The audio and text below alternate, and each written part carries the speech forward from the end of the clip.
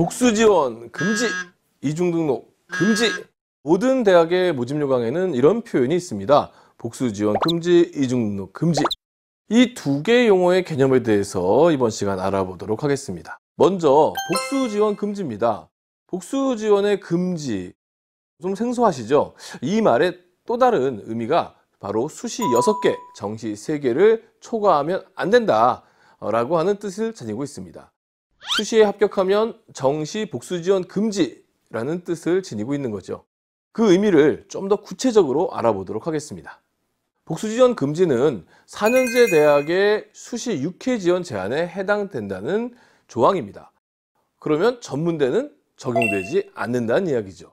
전문대는 모든 대학을 지원할 수 있습니다. 그럼 여기서 잠시 횟수에 대해서 알아보도록 하겠습니다. 6회 제한, 6회 제한 하는데 도대체 1회의 기준이 뭐냐?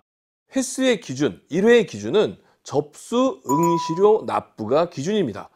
같은 대학 안에서도 여러 전형이 있죠. 논술 전형도 있고 종합 전형도 있고 교과 전형도 있고 근데 제가 한 대학에 논술 전형에 접수하고 응시료를 납부하고 그 다음에 종합 전형에 접수하고 응시료를 납부했다면 한 개의 대학을 지원했지만 두 개의 전형을 지원한 것이기 때문에 2회가 차감이 되는 겁니다.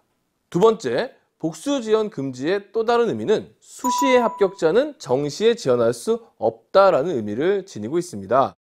수시 전문대에 합격하더라도 정시 지원은 불가능한 사항이라는 뜻이죠. 종종 수시에서 전문대에 합격하면 정시 4년제는 지원할 수 있다고 생각하는 경우가 있는데 전혀 전혀 사실이 아닙니다. 여기서 또 합격에 대해서 잠깐 알아볼게요. 수시 합격. 합격한 대학에 등록을 완료하는 것이 합격이라고 생각하는 경우가 많이 있는데요. 아닙니다. 합격이라는 것은 합격 대상자라는 전화 통보만 받아도 수시 합격자로 인정되어 정시 지원을 할 수가 없습니다. 교육부에서 밝히는 합격자의 정확한 의미는 합격한 사실이 있는 자입니다. 복수 지원 금지 예외인 대학도 있습니다.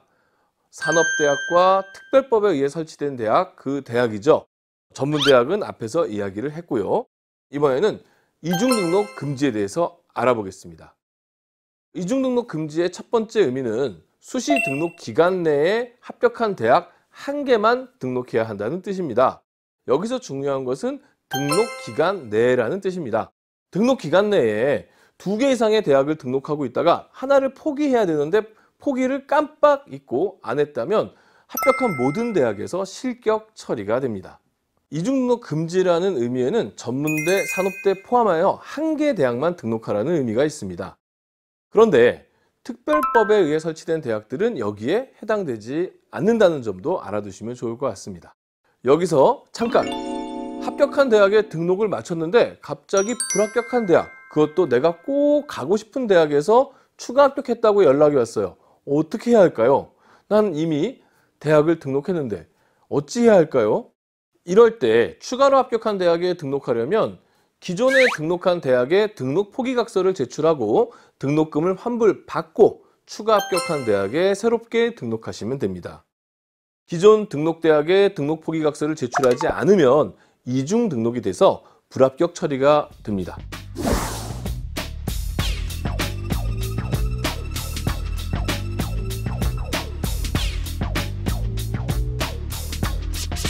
이 조항을 잘 숙지하셔서 실수 없는 대학 지원이 되시길 바라겠습니다.